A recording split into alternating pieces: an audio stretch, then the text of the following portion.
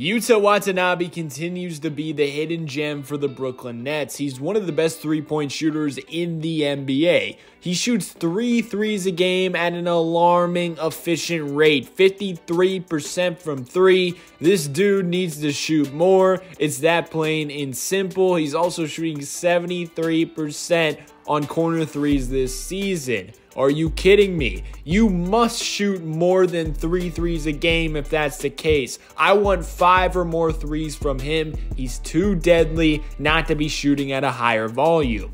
Not only is he one of the best floor spreaders for Kevin Durant and Kyrie, he also is just a winning player who has a high IQ and brings energy with his relentless hustle and toughness. Before we get into that, leave a like on the video, it helps out a ton. However, like I said, he's not just a one trick pony.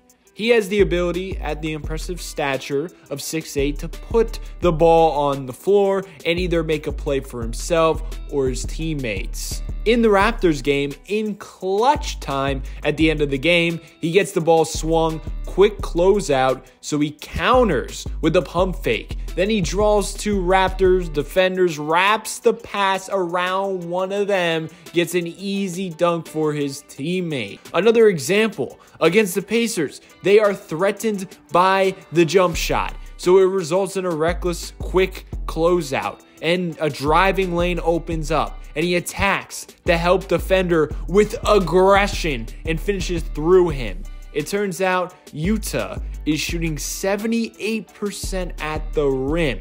He's also super duper efficient in transition because he's super athletic and quick at his size, and he provides more than just shooting and floor spacing, too. He's just a complete complementary player that has great size and does the little things. He's also been very clutch for them as well, making game winning plays for them when it matters most. Plus, he looks comfortable in high pressure situations, knocking down jump shots. He can shoot, play make, score off the dribble, and score in transition, which bodes well for him getting key minutes in the playoffs. Also, defensively, he's a great team defender. He knows how to rotate and where to be at all times. He isn't afraid of anybody on the other end. He can guard multiple positions as well pretty much any position besides a big, hefty center. His toughness, grit, and hustle on that end is contagious with the rest of his teammates. He is relentless on the offensive glass, and when he comes off the bench, he immediately makes an impact and energizes the squad.